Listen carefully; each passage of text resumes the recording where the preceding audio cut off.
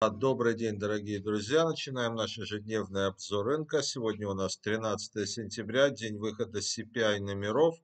И, как мне кажется, эти номера будут хуже, чем ожидания. Напомню, что ожидается 3,6% роста а, в ценах, но а, многие оценивают, что, возможно, мы увидим 3,8% роста цен. То есть это будет второй а, месяц подряд роста цен, и инфляция начинает снова проявлять себя.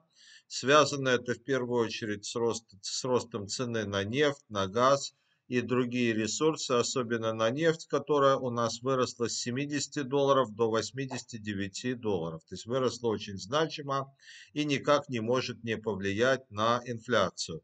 Поэтому будем смотреть на core-инфляцию, будем смотреть на обычную инфляцию, ну, которая как бы за исключением нефти и продуктов питания, наиболее волатильных. Посмотрим, какую динамику она покажет. Может, мы увидим снижение инфляции в сервисном секторе, что будет тоже позитивным. Но, опять же, я думаю, никого сегодня ростом инфляции не удивят и рынок в целом должен отреагировать на это нейтрально, если не будет каких-либо а, существенных, а, ну, таких а, сюрпризов. Опять же, вчера рынок после сильного понедельника, когда у нас технологические компании выросли, выросли практически топ-7, все компании выросли очень хорошо, включая Tesla, Nvidia, и, там, и Amazon, и Metaverse – то есть все они выросли. Вчера была совершенно обратная ситуация. Было это, наверное, скорее всего вызвано плохим отчетом от Oracle, который показал снижение темпов роста в AI-сегменте. И презентация Apple была вчера 15-го iPhone, которая не вызвала, возможно, должного резонанса. И акции Apple вчера упали на свой уровень поддержки а в, 70, в 175 долларов. Давайте посмотрим, как Apple ведет себя сегодня, удержит ли он уровень в 175 долларов или нет. Это для Apple будет, наверное, ключевым уровнем. Вот мы видим, вчера он, в принципе, 174.82 был уже под этим уровнем, сегодня 174.45. Поэтому вчерашний день показал очень такую странную динамику. На открытии а, у нас а, в против, противовес понедельнику пошли наверх акции реального сектора, пошли вверх small cap компании, в то время как компании большой капитализации падали.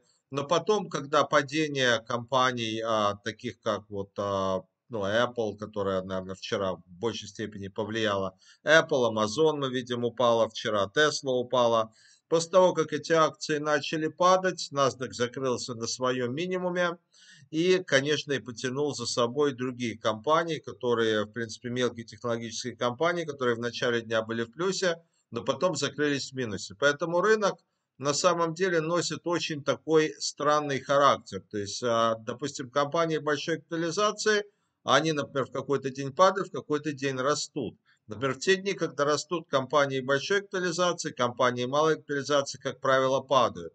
И в дни, когда компании большой капитализации падают, в противовес этого не происходит рост компаний малой капитализации. То получается lose-lose situation. То есть ситуация, в которой действительно очень тяжело а, найти какой-то вот правильный момент входа в компании small cap, Russell 2000, в S&P 600, эти все компании находятся по-прежнему под давлением. И если кто-то нам говорит о бычьем рынке, то я скажу, скорее всего, что мы находимся на поздней стадии медвежьего рынка, поскольку у нас по-прежнему new lows превосходит new highs, у нас достаточно много акций, особенно энергетических, альтернативной энергии, которые падают. К примеру, вот посмотрим на компанию BIM – которая в 2020 году стоила более 70 долларов, сейчас она стоит 8 долларов.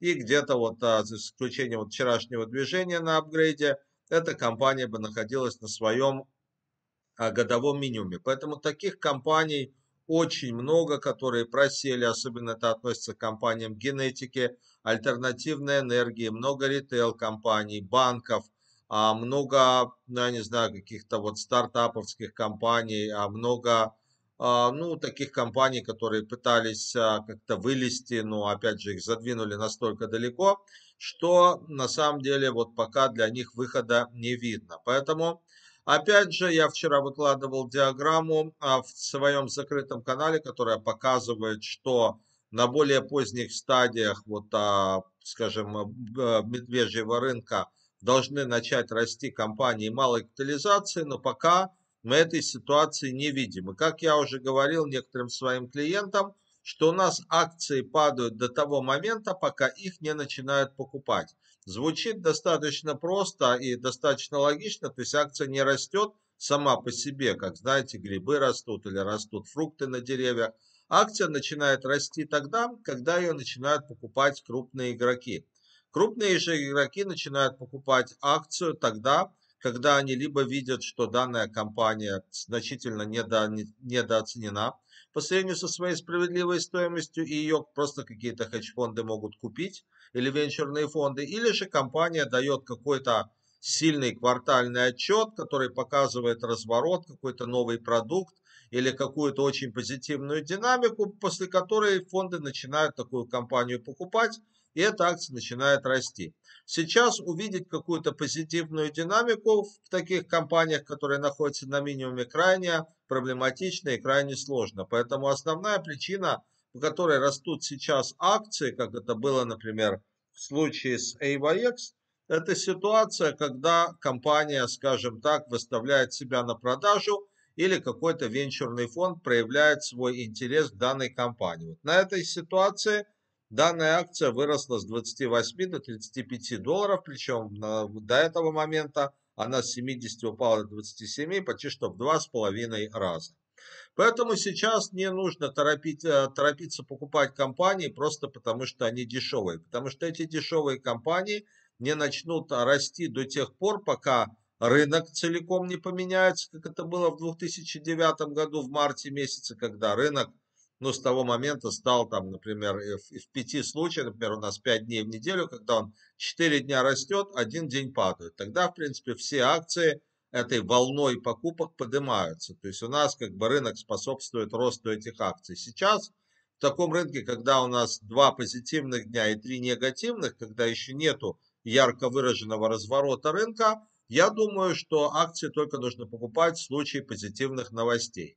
Опять же, найти эти позитивные новости можно, как, например, вот если мы возьмем с вами, скажем, компанию ANF, Abercrombie Fitch, компанию Retail – и если мы посмотрим ее вот график за год, то в какой-то момент эта акция вот падала до своего минимума, она стоила там, ну вот мы видим даже 14 долларов, она стоила в октябре прошлого года, и в какой-то момент вот она начала расти, да, то есть 14, потом уже 24, на 10 долларов выросла, скорее всего это был квартальный отчет. Если мы посмотрим динамику квартальных отчетов данной компании, то мы видим, что в целом, вот начиная вот с, ну, с того квартала октябрьского прошлого года, когда компания показала 1 цент прибыли против ожидаемых 15 центов убытка, компания начала расти. Поэтому а, ну, в самом примитивном случае мы должны увидеть хороший квартальный отчет, в котором компания бьет ожидаемый результат и дает позитивный прогноз. Это служит таким основным а, ну, моментом для того, чтобы акция развернулась.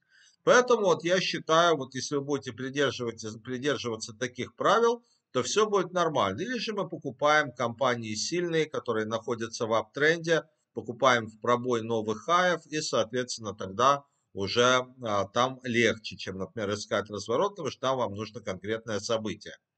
А вот такие у нас а, ситуация, такая у нас ситуация в рынке, поэтому многие считают, как я это писал в каналах, что еще вот где-то две недели, а я скажу даже не две недели, где-то максимум полторы недели. Я думаю, после вот а, заседания ФРС на следующей неделе, которое будет ровно через неделю, я думаю, рынок начнет уже потихоньку расти. То есть, если, конечно, мы сегодня не увидим каких-то катаклизмов во время CPI-репорта, более подробно я его освещу в своем канале, дам комментарии по нему, но я думаю, это будет основным моментом, на основании которого Федеральный резерв примет свое решение относительно подъема процентной ставки, которая, скорее всего, уже будет в ноябре. И тогда уже, я думаю, в зависимости от комментариев ФРС, а я думаю, все будет зависеть. Но я думаю, уже ФРС находится в ситуации, когда уже поднимать ставку больше не стоит, потому что Вот а, аукционы по трежерям, то есть аукционы по бондам, они достаточно наносят большой ущерб ликвидности, поскольку бонды продаются огромными количествами, это изымает ликвидность в рынке. Я думаю, этого вполне достаточно, чтобы как-то вывести безработицу на тот уровень, который Федеральный резерв хочет. Поэтому Федеральный резерв прогнозирует безработицу через год на уровне 4,5%, прогнозирует где-то а, инфляцию через год на уровне 2,2%, то есть все идет по плану, поэтому я считаю, что, возможно, мы не увидим никакого подъема процентной ставки. Опять же, все это будет зависеть, насколько будет выше сегодня инфляция, чем 3,6%. Поэтому следите за моим каналом. Я сегодня дам комментарий по этому вопросу. С вами был Саймон Брагинский. Всем хорошего дня. До свидания.